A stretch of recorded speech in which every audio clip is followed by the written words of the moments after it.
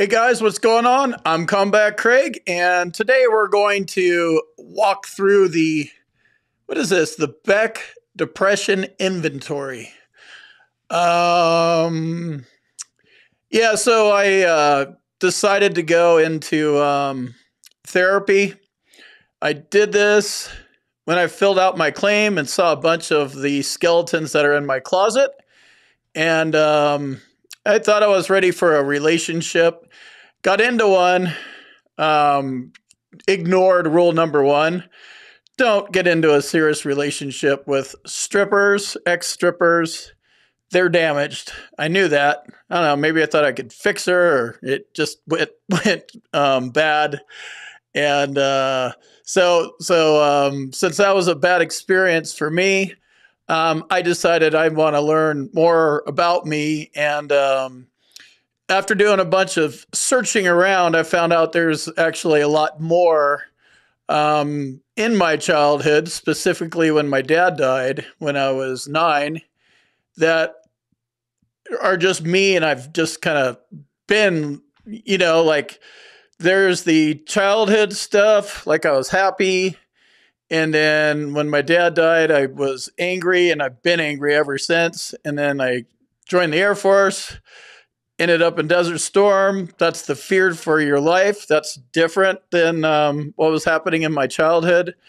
Uh, but I really just haven't looked at the whole thing, and um, there's more to my childhood. Anyway, I'm um, putting myself into therapy again because, um, as much as this basement is awesome, you want to learn more about the VA claims process, check out my boot camp. There's a uh, link in the description to combatcraig.com. And you need to talk to somebody about this stuff if you're filing a claim for mental health and you need them to write down what diagnosis you have or multiple diagnoses you have.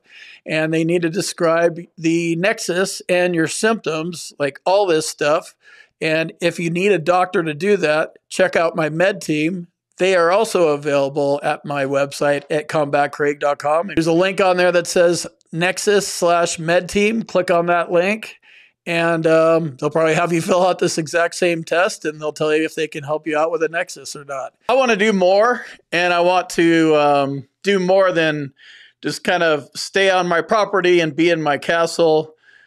Uh, if I want to have some kind of relationship and just kind of be more I don't know. It's hard to it's hard to explain. I want to do more than what I'm doing. Just looking at the problems um, isn't enough. I, I want to. I need more tools specifically to deal with the anger, but I'm actually ready at 55 years old.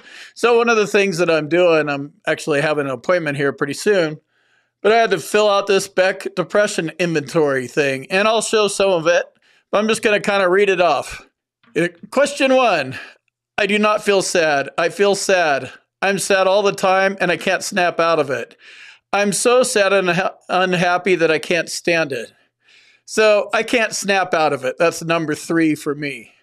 Um, I mean, yeah, I've been where I can't stand it, but that doesn't get me anywhere. But I get, yeah, I, I just can't snap out of it. Question two I'm not particularly discouraged about the future. I feel discouraged about the future. I feel like I have nothing to look forward to. I feel the future is hopeless and things cannot improve. This one's tough. I've definitely, you know, leaned towards feeling hopeless and things can't improve.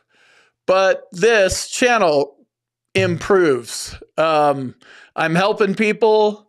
It's therapeutic. So, as I'm discouraged about the future, I have hope in myself because I'm able to communicate my feelings with you guys and relate. So, I'm not completely hopeless uh, in that category. Um, previous to this channel, it would be I feel the future is hopeless and things cannot improve for sure. Uh, question three I do not feel like a failure. I feel I have failed more than the average person. Yes. As I look back on my life, all I see is a lot of failures. Yes. I feel I'm a complete failure as a person. Yeah, I'd say I'm still there. Um, kind of getting out of that because there's I'm not alone. you guys are there. Uh, but yeah, I pretty much am a complete failure. So on to the next questions. And the reason I'm doing this is um, every time I take these tests, it's always um, the last worst thing. That's just the way I've been. And um, I think I've been like this um, since I was a child. I, th- I thought it was more after um, I got kicked out of the Air Force, but I think it goes farther than that. And that's what I'm uh, looking to do. I get as much satisfaction out of things as I used to. I don't enjoy things the way I used to. I don't get real satisfaction out of anything anymore. I'm I'm dissatisfied or bored with everything. I'd say I'm dissatisfied or bored with everything, and uh, that happened with this YouTube channel. I'm I'm snapping myself out of it, but that's kind of I think it's like burned out.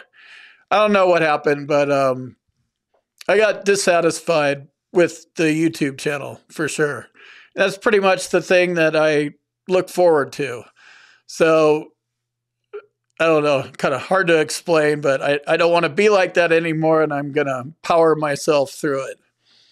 I don't feel particularly guilty. I feel guilty a good part of the time. I feel quite guilty most of the time. I feel guilty all the time. Yeah, I feel guilty about everything failure, failure, failure, disappointment. That's that's easy. I feel guilty all the time.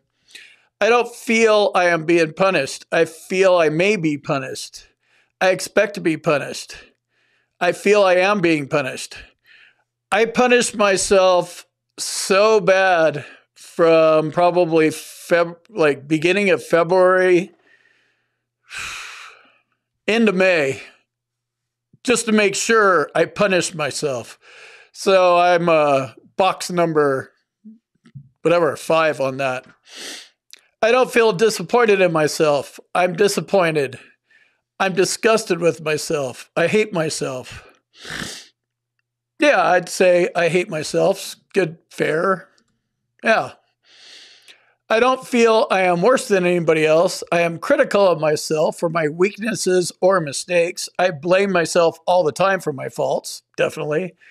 I blame myself for everything bad that happens. Yeah, because I did it or I was involved in it. I blame myself. Um, and this one seems pretty easy to me because I like to blame other people for everything. So I think that's like me.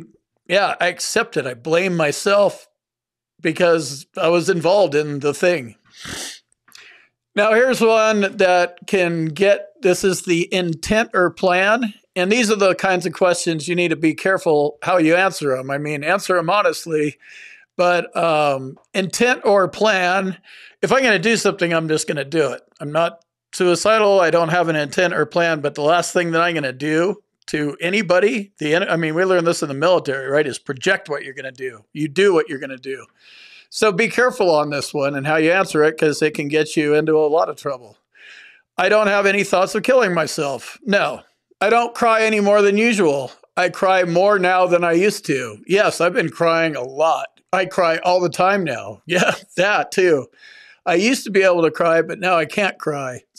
So, um, even though I want to, I cry all the time now. I've been crying for a year, losing my dog, losing my chick, dealing with my dad. But crying's good. I haven't cried enough. I guess that's my rationale. Um, I'm I am no more irritated by things than I ever was. I am slightly more irritated now than usual. I am quite annoyed or irritated a good deal of the time. I feel irritated all the time. Absolutely. Everything irritates the shit out of me 100% of the time. I have not lost interest in other people. I am less interested in other people than I used to be. I've lost most of my interest in other people. I've lost all of my interest in other people. That would be the most applicable. I just don't like people, and, and I tried to um, get involved with one, and it just kind of showed me basement is better, and I need some help if I'm going to try this whole people thing again. And again, I'm talking to a camera, and I know that you're listening to me, and you're a people, or you are people. Uh, but talking to a camera and actually being in front of people are two different things uh, in my mind. I make decisions about as well as I ever could. I put off making decisions more than I used to. I have greater difficulty in making decisions more than I used to. Uh, my decision making process is just gut.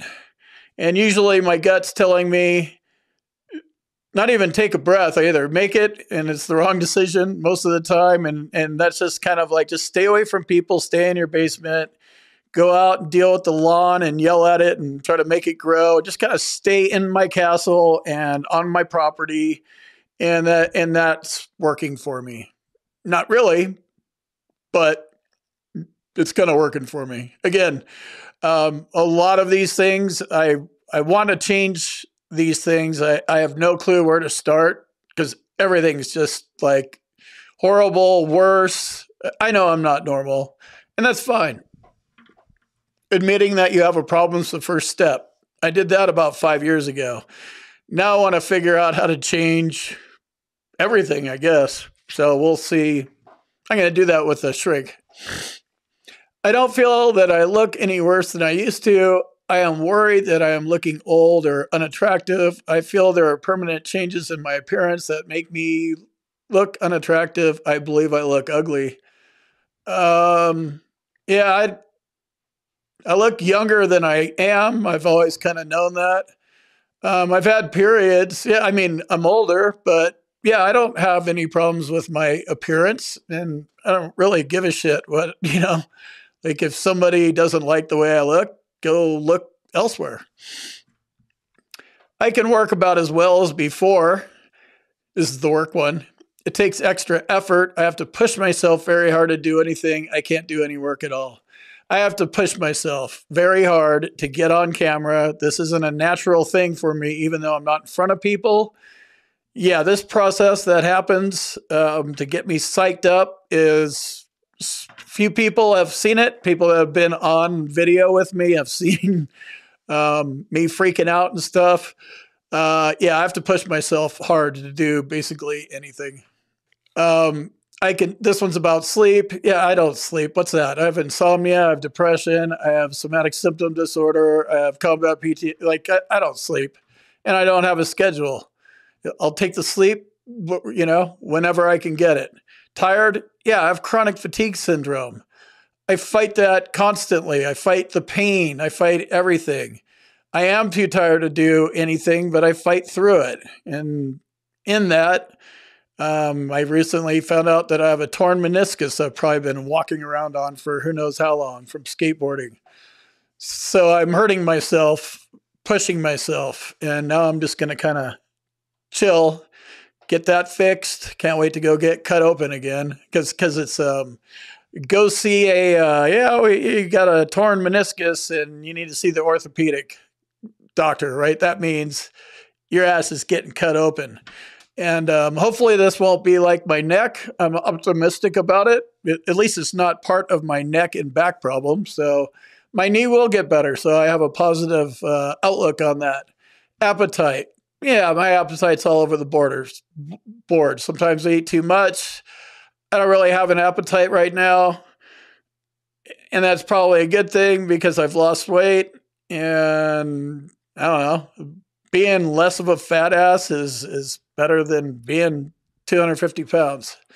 I haven't lost much weight. I've lost more than yeah, I've lost more than 15 pounds in the last year. Um, I'm no worried. This one's about health. Yeah, I'm worried. I have so many physical problems and mental problems. I can't think of anything else. They determine what I'm going to do every day.